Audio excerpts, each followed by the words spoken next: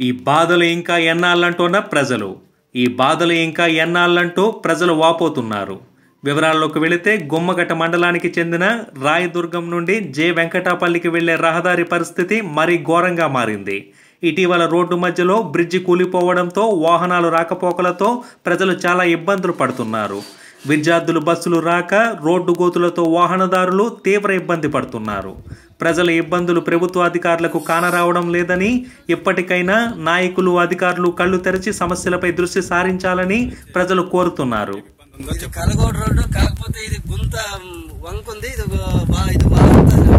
ఇది రిపేర్ పిచ్చి మాదిరి వేసినారు అదంతా దిగుబడి కిందకి. ఇన్ని ఊరు అధికారులు కూడా పట్టించుకోవడం లేదు.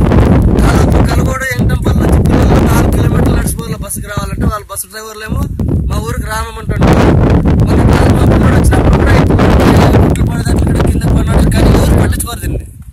చెప్పండి మీకేం జరిగింది? ఎట్లా జరిగింది? అన్న తొమ్మిదిన్నర టైంలో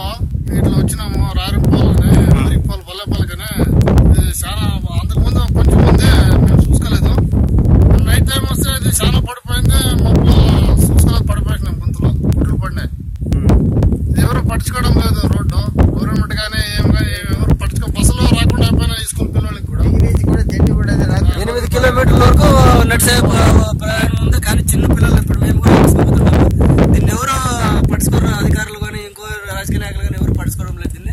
తొందరగా. ఇది మాకు పూర్తి చేస్తే చాలా హెల్ప్ చేసినారు తర్వాత మీరు. పిల్లలకే చాలా ఇబ్బంది